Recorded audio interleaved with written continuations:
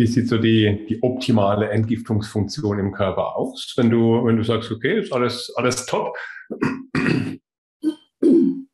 Das wäre jetzt die Frage, was, worauf du hinaus, woran man es merkt, ob man gut entgiftet. Mhm. Ja, wenn man genau diese, diese Beschwerden alle nicht hat und trotzdem halt mhm. mal irgendwie, also ich finde so, so sehr passend, wenn man ähm, zum Beispiel Sekt trinkt. So, das ist so der Klassiker. Ach nee, ich nur ein kleiner Schluck bitte. Warum? Weil die Leute meistens ähm, noch nichts gegessen haben, wenn sie Sekt trinken, weil sie den entweder als Aperitif vorweg trinken oder auf dem Empfang im Stehen. Und so, dann ist da noch Kohlensäure drin und Kohlensäure bringt das, den Alkohol schneller ins Blut. Das heißt, wir haben Alkohol und wir haben ihn schnell im Blut und wir sind auch noch nüchtern und gleich haben wir einen Sitzen. Nicht lange, aber schnell. Und das ist so, finde ich, was, woran man schon mal merken kann, ob man gut entgiftet. Was nicht mhm. bedeutet, dass man sich immer nur einen hinter die Binde gießen sollen können muss, was natürlich auch okay wäre. Dann hätte man, also ein Kater zum Beispiel ist halt ein Entgiftungsproblem. Ne? Ja. Also das kennt, glaube ich, jeder eigentlich, ne? dass man so einen Kater hat. Aber ja, den kann man ja. natürlich auch davon haben, die Kopfschmerzen kann man auch haben, weil irgendwie man den Nachbarn im Fahrstuhl getroffen hat, der gerade frisch sein Rasierwasser aufgetragen hat und man geht raus und es wird einem total übel. Und das liegt nicht an der Marke, sondern es liegt an der eigenen Entwicklungsstörung. Also das sind so Hinweise auf eine gute Entgiftungskapazität, dass mhm. man, ja, und dann geht es natürlich weiter, aber das sind so die typischen. Liegt mal gerade, es gibt ja so, was unter Entgiftungsstörung zusammengefasst wird, eben die was viele Zuhörer hier bei Medomio sicher auch kennen, die HPU oder mhm. das Erworbene dann die KPU. Das bedeutet, dass, wenn es erworben ist, dass eine zu hohe Anforderung ans Entgiftungssystem halt das B6 auch in die Knie gegangen ist und dann das Mangan für die Superoxidismutase und das Molybden für die Schwefelentgiftung und das Zink für die Entgiftung überhaupt. Und das gibt es natürlich auch genetisch. Da muss man auch erstmal drauf kommen. Und damit verbunden sind dann auch wieder zig verschiedene andere Symptome. Und die Leute, wenn sie dann, dann immer sagen, ja, ich weiß, was ich habe, ich habe eine HPU. Dann sage ich, ja, und die HPU ist nur ein Teil der Wahrheit. Und HPU kommt auch nicht alleine. Eine HPU kommt sehr häufig im Zusammenhang mit auch einer Folsäureaktivierungsstörung und auch mit einer etwas anderen Genetik in anderen Bereichen. Und das sind so die Patienten, die den größten Teil meines Klientels ausmachen, die eben so diese, diese unspezifischen Symptome auf allen Ebenen haben und denen man dann sagt, ja, mein Gott, stellen Sie sich doch nicht so an. Oder, oder ja, das bilden Sie sich nur ein. Und ähm, ja, wissen Sie was, das ist alles nur in Ihrem Kopf. Ne, das ist einfach nicht fair und sowas ärgert mich auch immer. Ähm, und die Leute leiden halt. Und die leiden halt nicht so sehr, dass sie, dass sie gar oder meistens nicht unbedingt so sehr, dass es äußerlich so sichtbar ist, sondern es geht ihnen einfach schlecht. Und damit verbunden ist dann auch ja, die ganzen Gemütsschwankungen, die Depressionen, das Kälteempfinden, die ja, schnelle Erschöpfbarkeit, die Muskelschmerzen, die Nervenschmerzen, was weiß ich, es kann ja alles damit zusammenhängen. Mhm. Also ein guter Entgifter, mit anderen Worten, dem geht's gut. Mhm. Okay, spannend.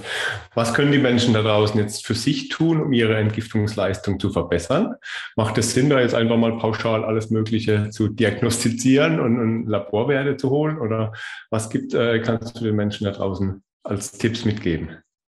Also ich möchte jedem mitgeben, sich selber mal wirklich genau anzugucken. Mhm. Also hat, hat man, ich sag's mal ganz äußerlich. Ähm, das eine war jetzt mit dem, mit dem, mit dem Sekt zum Beispiel und dem Alkohol und so weiter, genau, Prost. Mhm. Und das andere ist eben, also die äußerlichen Erscheinungen. Habe ich ähm, zum Beispiel feste Nägel, ne? dann, wenn ich feste Fingernägel habe und keine weißen Flecken auf den Nägeln, die Nagelmonde gut zu sehen sind, ist das schon mal ein Zeichen, dass zumindest nicht unbedingt ein Zinkmangel vorliegt und sind die Haare kräftig, sind die füllig, sind die ähm, weiß natürlich auch, ne? du hast auch keine Haare auf dem Kopf. Das muss, kann auch genetisch sozusagen weitergegeben sein, dass einfach eine Veranlagung ist, dass man die Haare früh verliert. Aber man kann auch gucken, hat man nicht schon auch eine starke Schwermetallbelastung ähm, ererbt. Aber vor allem, wenn die Haare sich verändern. Also wenn man sagt so, boah, ne, sind irgendwie so die total struppig oder die fallen irgendwie dauernd geht's aber die fallen dauernd aus und so weiter. Das sind so äußerliche Zeichen. Die Haut dann sehr, sehr trocken ist oder, ähm, oder was ich auch noch ein sehr wichtiges Zeichen finde, ich habe äh, leider auch eine Entgiftungsstörung. Also das bedeutet, das Abfangen der freien Radikale ist halt nicht ganz so optimal. Und da neigt man dazu, dass man diese, dass quasi die, ähm, die Lysosomen, also unsere Zellen, die auch so ein bisschen den Müll einsammeln, dass die dann zum Teil ein bisschen überfrachtet sind und dass man dann zu diesen typischen Altersflecken neigt. Also mhm. wo dann einfach die, die, also wenn man in die Sonne geht, auch sofort sich Sommersprossen bilden ist auch schon so ein Zeichen. Ja, das heißt, dann ist bei den Rothaarigen so. Aber muss man genau hingucken. Das liegt daran, dass halt die Haut nicht mit den vielen freien Radikalen fertig wird, die durch die Sonneneinstrahlung eben entstehen. Mhm. Kann man übrigens sehr gut mit Beta-Carotin vorbeugen, wenn man es denn verträgt. Und ähm, dann kann man sehen, so bei, bei dem fortgeschrittenen Alter, finde ich so ganz klassisch, wenn ich mir den Rücken angucke und ich sehe diese, ähm, diese, ja, das sind dann nicht die typischen Altersflecken, wie Sie vielleicht auf dem Handrücken so kennen oder im Gesicht kennen oder so, diese, die dann so irgendwo sind, sondern es sind, es sieht fast aus, als ob einer so Farbe auf den Rücken gespritzt hätte. Es mhm. tropft dann so ab. Und wenn der ganze Rücken davon voll ist, das ist so ein Zeichen für wirklich so eine, so eine für Ablagerungen, die halt versucht werden, um die Haut auszuscheiden. Also da sind schon so verschiedene Hinweise ähm, auf der, auf der, also äußerlich zu sehen, nachdem man schauen kann. Dann kann man natürlich auch auf den Geruch achten. Also ähm, heute war es wieder so, ich hatte einen Patienten, der auch eine Schwierigkeit in der Schwefelentgiftung hatte. Und während wir hier drin saßen, ist mir das gar nicht so aufgefallen. Aber als ähm, raus war und meine Mitarbeiterin reinkam, stürmte sie gleich zum Fenster und hat das Fenster aufgemacht. Und ich so, hast du was gerochen? Und dann sagt sie, ja, das riecht, das riecht dann so ein bisschen muffig. Das liegt dann häufig daran, dass der Schwefel nicht gut entgiftet werden kann. Da kann man unter anderem mit, äh, mit Molybden nachhelfen. Mhm. Also Molybden als Spurenelement um dann eben ähm, den Schwefel besser zu entgiften. Mhm. Ja, ja, auch gelbe Flecken in den T-Shirts ist auch so ein, so ein Versuch, dann den Schwefel loszuwerden. Der Uringeruch spielt eine Rolle. Natürlich auch die anderen Ausdünstungen, auch die, die man, wenn man jedes Mal vom Toilettengang lieber keinen nach sich reinlässt und das Fenster aufreißt, dann ist auch schon verdächtig, dass da irgendwas gärt und fault. Mhm. Ähm, Insofern kann jeder bei sich selber genau diese ganzen, diese ganzen Symptome ähm, feststellen. Und ich finde es wichtig, einfach Menschen wirklich ernst zu nehmen in der Aussage, ich weiß nicht, was mit mir ist, es stimmt irgendwas nicht. Also wir wissen eigentlich, wenn irgendwas einfach mit uns nicht stimmt, wir wissen nicht genau, was es ist, es stimmt irgendwas nicht. Deshalb muss man nicht gleich Schmerzen haben. Ähm, oder auch nur wiederholt mal Kopfschmerzen. Das ist auch was, was man gerne loswerden möchte. Aber ähm, es ist so dieses diffuse, mir geht es einfach nicht gut. Ne? Mhm. Ja. ja. Das ist das, was die Menschen. Und dann wird natürlich gefragt, was soll ich dann tun? Ne? ja, ja. Gibt's, also, äh, gibt, Hast du ja. da noch drei, drei wertvolle Tipps, die du den Menschen mitgeben kannst? Vielleicht Ernährung, Lifestyle oder was sie so vorbeugend schon mal tun können, um da die Entgiftung bitte zu unterstützen?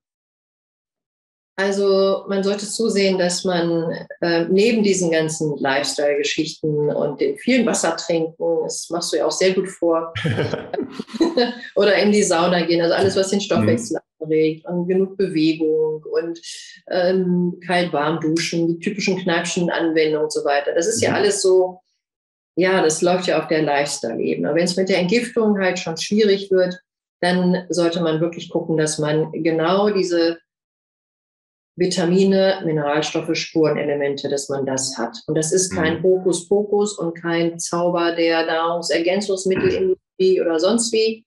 Das ist, sind einfach mal die, die Grundlagen der Biochemie der Zelle. Also wer das negiert und sagt, äh, Nahrungsergänzungsmittel sind schädlich, der hat einfach der hat es nicht richtig gelernt. Also, sorry, wenn ich das sage, da werde ich auch langsam so ein bisschen unwirsch, wenn ich dann höre, Vitamin D ist nur ein Hype. Oder ähm, äh, ja, Vitamine können Sie nehmen. Ja, verdammt nochmal, wenn ich eine schwere Erkrankung habe, dann habe ich die, weil es an allen Ecken und Enden fehlt. Ja. Also Vitamine, Mineralstoffe, Spurenelemente, also eben die, von denen man so ganz wenig hat, das sind die Spurenelemente, und Aminosäuren. Das ist das Programm, was ich am Anfang abnehme, wo man dann schwarz auf weiß gucken kann, wo man anfängt. Natürlich ist eine gesunde Ernährung keine Frage.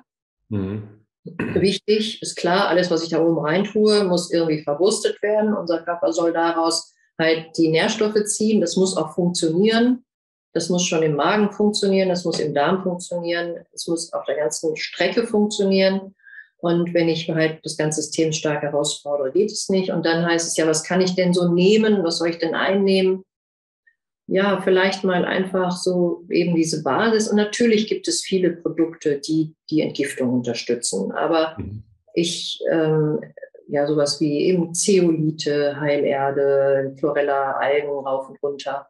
Das sind bindende Substanzen, Brunnenkresse. Da sollte man auch nicht gleich das nehmen, was auch noch möglicherweise wie Bärlauch oder Koriander erstmal mobilisiert. Da muss ich erstmal dafür sorgen, dass ich überhaupt die Basis schaffe, um zu entgiften. Aber ich kann nicht gleich sowas einnehmen, dass mir gleich da die ganzen schön abgelagerten Gifte um die Ohren fliegen. Ne? Ja. Aber natürlich ist das alles gut. Nur ich kriege eine richtige Schwermetallbelastung, kriege ich nicht mit Chlorella raus. Habe ich noch nicht erlebt.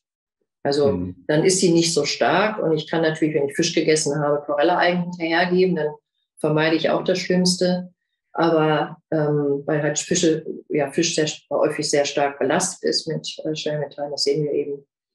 Ähm, aber so richtige Schwermetallbelastung, da muss man dann schon ein bisschen anderes Kaliber vorlegen. Und das mhm. kriegt man gut hin. Also okay. man kann echt eine ganze Menge machen.